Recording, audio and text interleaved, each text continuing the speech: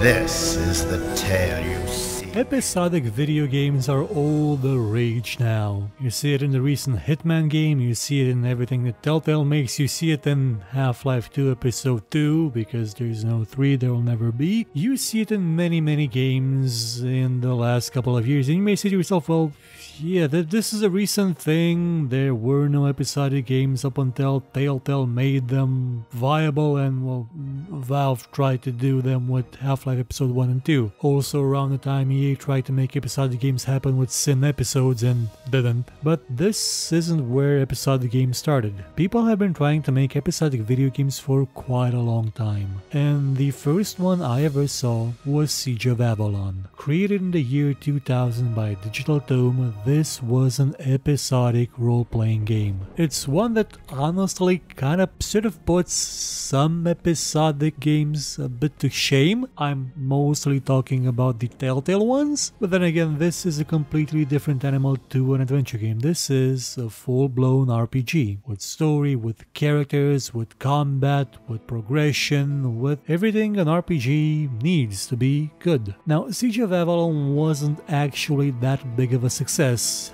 uh, reasons for which you may see in the background near the end of this trailer that there's uh, another book on the shelf next to Siege of Avalon called Pillars of Avalon. That was supposed to be the sequel, but the studio didn't make one. Digital Tome never made one because they, I believe they couldn't. I couldn't find that much information about this studio. I mean, it was a long time ago, and this wasn't what you would call a big hit, and they didn't make anything else. What I can tell you is that while Digital Tome was working on the concept for Siege of Avalon, they came across a game engine built by a programmer named Stephen Davis, who just really liked making games, and he wanted to make his own game, but he started out doing the tech first and released that tech to the public, to well, the game developers, and Digital Tome found it, they liked it, and they hired him, and he made the graphics engine for this game. He would then later, and I mean years later, go on to make patches for it so it will run well on modern systems, and I believe is now still trying to get this game re-released and properly working. Uh, you're not gonna see a lot of footage with combat, and I mean proper combat in this show because there's uh, well this happens after a while and I uh, couldn't really get it to work in time to finish uh, doing the recording for the show. So uh, the video footage is gonna be stuck mostly with other bits of the game which which is totally fine. This game although it has combat in it although it is fine. Sort of in the same way that the Lionhearts was. Actually worse because you don't have a pause option, I think. Combat isn't what you would call the best ever made in a video game. It's it's okay, it's it's passable, it's not the best is what I'm saying. And not having the best combat in an age when Diablo 2 was just being released alongside Baldur's Gate 2, that was kind of a dead sentence for any RPG, so probably that's why uh, Siege of Avalon never really took off, but it did actually get 6 chapters out. The only ones that have uh, like plot development in it uh, are there are chapters 1, 2 and 6, with the rest of them being sort of expansions that let you experience more of the world itself, more of the lore, more of the characters, more of the background story. And that's a good thing because what this game did absolutely right in my opinion is setting up a world. This isn't a sprawling game, well what I played of it isn't a gigantic sprawling game that stretches across worlds and countless kingdoms and countless continents continents, it's a more intimate affair. The first chapter of Siege of Avalon was released for free. You could get it just about everywhere. I got mine from a CD from a uh, video games magazine. I believe it was Level or PC Games. And I enjoyed what I saw. The tagline of the game, or I believe the tagline of the studio was, Have you played any books lately? And the idea upon which the game was built was to create Uh, an episodic story, one that, you know, had gameplay and other stuff. And it did behave a bit like a book. Well, it also looked a bit like a book because you would have very, very beautiful, illustrated and written, like it had a very nice font. You would have a journal, you would have a log, you would have a lot of text in this game. There was a lot of text and it was good text. Maybe not the greatest text ever made, ever written, but it served a purpose of building a world that was believable, a world that was endearing. The basic story of the uh, the world is that there is these two races, the human and the Shaul, and they lived for well, probably eons on the same continent without really running into each other because it was a big place and it wasn't all that crowded. But one day it was just through sheer chance that one campfire, one smoky trail in the heavens was spotted by a Shaul raiding party, or maybe scouts, I don't know what they were anymore, and they found humans and they didn't get along, and they continued to not get along. And then came the wars, the invasions, the raids, and so Avalon was built, a fortress right at the battlefront, a fortress to keep the enemy at bay. It's a detailed environment. It's full of characters. Uh, uh, apart from the guards, I believe that each and every one of the characters is named. They don't necessarily have a lot of dialogue and aren't all involved in quests, but they have names. They have unique appearances for the most part, and I'll get to appearances in a jiffy. Something else I can tell you about the story is that I'm not 100% sure which is the right one. And here's what I mean. The chapter 1 that I played 10 years ago is, well, it is the same in theory as the one you can get now for free on the web, but it doesn't have the same story. It has the same beats to it, but not all of it. Some bits are different. And to be honest, I don't know which one was the pre-released unfinished thing that went nowhere and which one is the official one. It's sort of like the same situation in which you find Divinity Original Sin.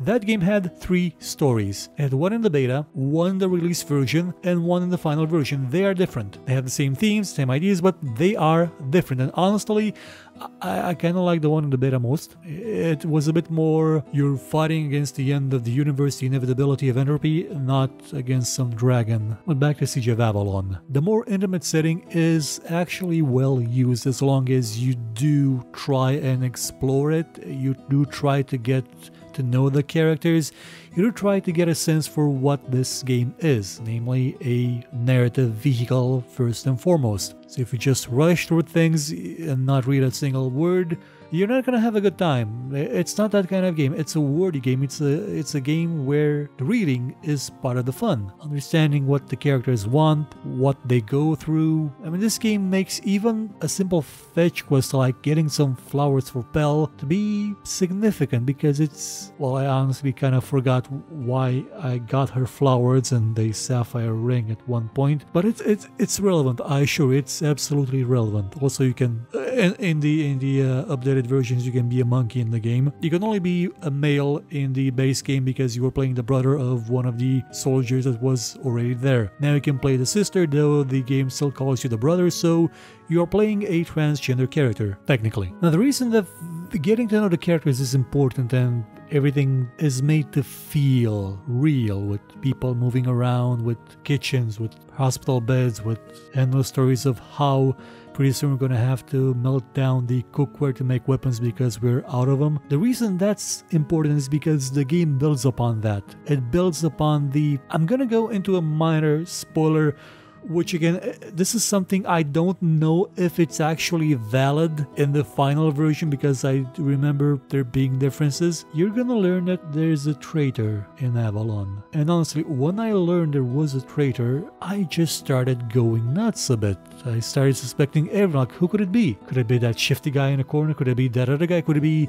those two guys standing there? It could be everyone. It was a bit like my Call to World 2 did with uh, their... Okay, that, that's an even bigger spoiler announcement, so I should probably shut up. What I'm getting at is that the game did something right. No, actually, it, it did two things right. I'm gonna say an opinion that is probably... Well, no, it's not unpopular. Everybody agrees. Clothing in RPGs today is absolute garbage. It's downright insulting. It's been insulting since Oblivion. In Morrowind, you could wear a robe over your armor so you would look like you were incognito. You could look like you were stylish. Since Oblivion, you, you couldn't.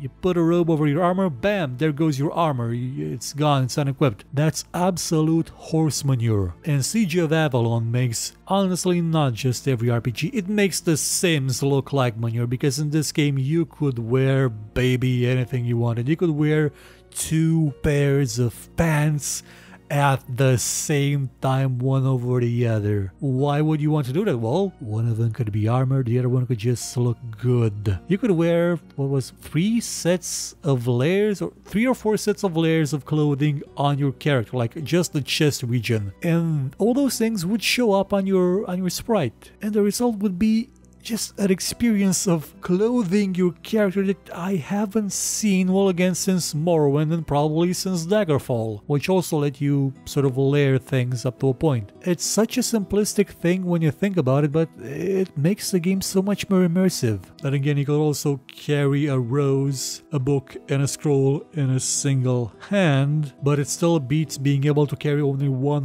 ring on one hand, like in most other games. Now, you may be seeing that I'm using all sorts of spells on the background from time to time. That's because I actually enabled a sort of cheat in a ini file that let me see all the spells because I never saw all of them because I never had the entire version of the game and it didn't progress all that much in level in the first uh, chapter. One of them lets you summon a mouse, well a rat that you can use to spy on things, which is actually a good thing because, like I said, th this game wasn't necessarily easy. You had three classes, you could be an archer, you could be, well, a scout, you could be a warrior, you could be a mage, and as a mage, you better make sure that you can kill the enemy before they get to you because if they get to you, you're kind of dead, you don't have that much HP. Same thing with a scout, you you don't even have spells that are strong enough to kill things as fast as a mage could, so you're gonna have to be stealthy and probably have some lucky crits. As a warrior, you're kind of better off. I mean, you are tougher, you're stronger, you can take a few blows and also deal the damage. And you're not alone. Though for the majority of Chapter 1 I was alone, you will eventually get your own party, your own group of characters that you can take with you on adventures. Adventures through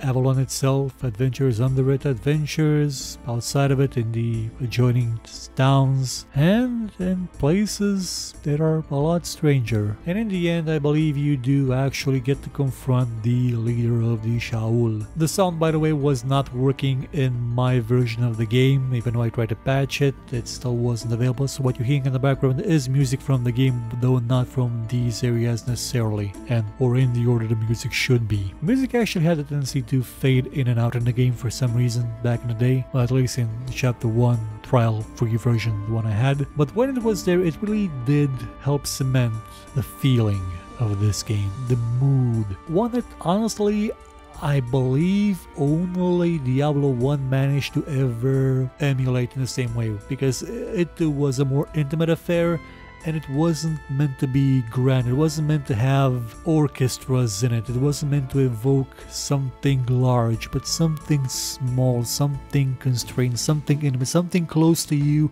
something near you, something touching you from the dark.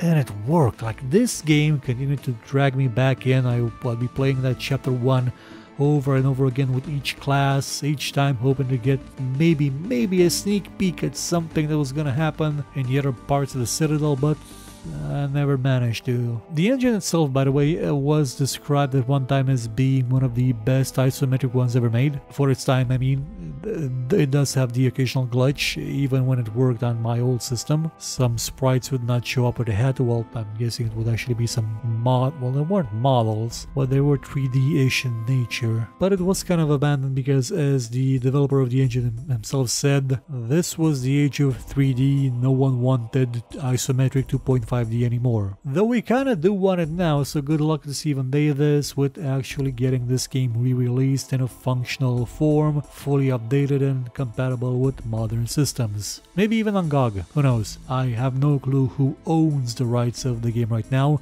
The engine itself is open sourced, though I haven't found files for it on GitHub, even though there was a link to GitHub on the official page, which is still, well, it's not maintained, but it's still up, though I think there may have been some on SourceForge. Regardless, you can still find Chapter 1 available on the web, you can download it, it's free, and I encourage you to try and play it, if it works for you that is. The updated versions do get a bit better in terms of usability because uh, when you encounter a transition from one scene to another you don't just go through the transition you have the option of traveling to any other place you visited in the game, which speeds up traveling quite a bit, but it may detract a tiny, tiny amount from the joy of experiencing this game, of the locations, of visiting every place again and again, of familiarizing yourself with it, caring about it, and fearing that among you there may be one who wishes to see